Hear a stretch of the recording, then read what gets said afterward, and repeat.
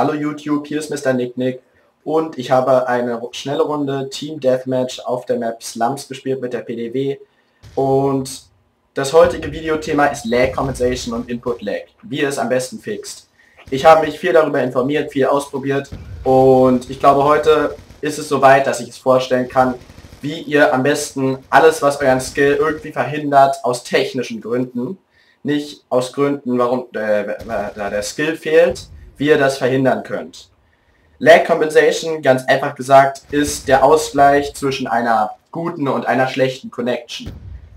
Das Schlimme dabei ist, dass die Leute mit einer guten Connection bestraft werden. Das eigentliche Ziel ist es, eine Gerechtigkeit zu schaffen, dass nicht immer die Spieler mit dem guten Internet den Vorteil haben, weil sie gutes Internet haben. Aber in der Realität müssen wir mit sehr starken Lags kämpfen, die Schüsse kommen nicht an, wir sind um eine Ecke gelaufen und trotzdem werden wir noch erschossen.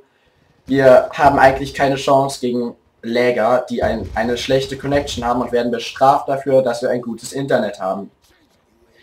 Es wurde schon einiges dagegen unternommen. Es gab ein Aufruhr in der Community, weswegen Treyarch ähm, reagieren musste. Sie haben ein paar Patches rausgebracht, die Lag Compensation selber nicht gefixt haben, allerdings gemacht haben, dass dass man gar nicht erst mit Spielern mit einer schlechten Connection zusammenkommt, wenn man, wenn man es nicht will und meint darunter leidet, dass man äh, unter Lag Compensation leidet. Ähm, der erste Patch hat eingestellt, wenn man die Sucheinstellung nicht auf beliebig gestellt hat, wurde man mit, nicht mit Leuten aus einem fremden Kontinent zusammengeschmissen. Auf PC also nicht der Server steht in Europa oder ähm, der, der Host auf den Konsolen ähm, der kommt dann auch halt nicht irgendwie aus einem fremden Kontinent. Das hat das schon mal einigermaßen verbessert.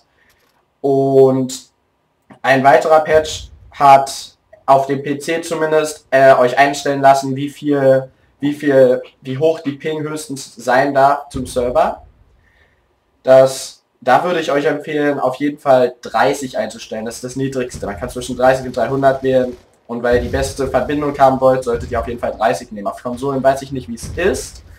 Aber auf jeden Fall, ich glaube, da könnt ihr auch zwischen, äh, zwischen irgendwas äh, beliebig und beste wählen. Ihr solltet auf jeden Fall beste nehmen, wenn, wenn ihr meint, eure Connection ist so gut, dass ihr dann nicht irgendwie keine Spiele mehr findet. Ihr solltet beste nehmen, das entspricht dann einer Ping von 40.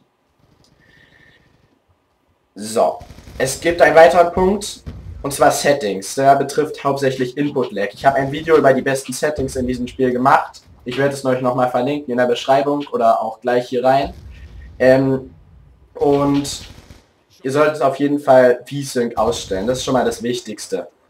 VSync ähm, macht zwar, dass ihr kein Tearing habt, das könnt ihr nochmal nachgucken, was das genau heißt, das ist ein Bildfehler, aber es gibt einen merklichen Input-Lag, was natürlich scheiße ist in ähm, Online-Games. Mm. Ein weiterer Punkt ist, ihr solltet eure NAT öffnen. Werde ich euch für die jeweiligen Plattformen, werde ich euch die, die Ports, die ihr öffnen müsst, in die, in die Beschreibung hauen und am Ende werde ich auch nochmal zeigen, wie genau ihr das macht.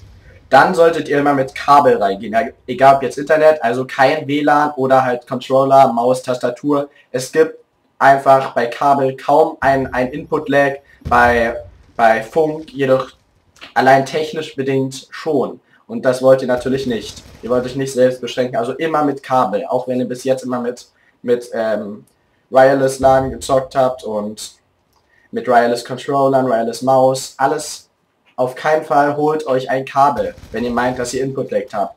Vielleicht seid ihr auch schon so dran gewöhnt, aber mit Kabel wird es auf jeden Fall besser sein, rein technisch gesehen. Wenn ihr auf der Konsole spielt, ähm, teilweise auf dem PC, könnt ihr euer Internet throtteln. Das heißt, ihr, ihr reduziert euer Internet künstlich, ihr reduziert die Qualität eurer, eurer Internetleistung künstlich, um ein um auf die positive Seite von Lag Compensation zu kommen, dass ihr Lagger seid. Das funktioniert allerdings nicht immer und würde ich euch nicht wirklich empfehlen. Ich werde am Ende trotzdem noch mal zeigen, wie man es einstellen kann. Ein Versuch ist es wert. Ein weiterer Punkt ist, ihr solltet alleine spielen. Ihr, wenn ihr mit mehreren Leuten spielt, dann wird einfach nicht der beste Server für euch ausgesucht, sondern der beste Server für, für alle. Und der ist einfach dann nicht der beste mehr für euch. Mm, jetzt zeige ich euch noch mal ein paar Klassen, die ihr auf jeden Fall benutzen solltet, wenn, wenn ihr wenn die Lobby laggt. Das sind einmal die MSMC und die PDW. Warum? Weil die schnell aim. Ihr könnt richtig schnell raufgehen auf den Gegner, was euch natürlich schon mal Zeit nimmt im Vergleich zu Assault Rifles. Das gibt euch noch zusätzliche Punkte. Ähm, auf die MSMC würde ich euch Quickdraw empfehlen, auf der PDW auch.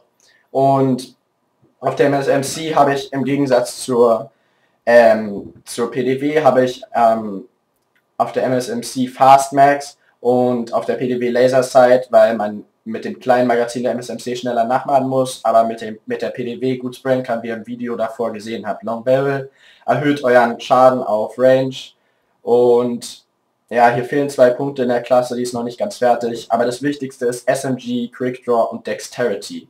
Das nimmt euch, dann seid ihr richtig schnell beim Aim, auch nach dem Rennen und Dropshotten ist sicher auch noch hilfreich, besonders wenn ihr eine SMG benutzt mit Laser.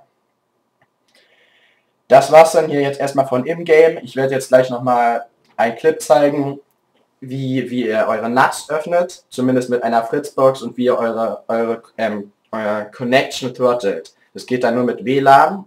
Ich weiß, ich habe gesagt, ich soll, ihr sollt damit nicht spielen, aber wenn ihr ihr könnt versuchen, eure Connection so schlecht wie möglich zu machen, damit die anderen mit einer guten Connection darunter leiden müssen. Das ist okay, fies, ja, aber und jeder äh, will in diesem Game Spaß haben. seht ihr, ihr lange ich Zeit meine, gehabt, meine Ports öffne. Ihr sollt auf die Seite fritz.box gehen, beziehungsweise auf die entsprechende für euren Router und könnt dann halt die Freigaben machen oder hier unter WLAN, Funkkanal könnt ihr ähm, Funkeinstellungen anpassen und dann auf die maximale Sendeleistung geringer einstellen. Das ist ein Versuch wert. Bis dann.